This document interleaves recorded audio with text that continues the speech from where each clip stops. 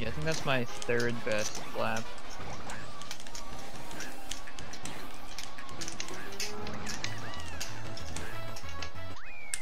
Nope, I was so close. I PR'd the fast lap.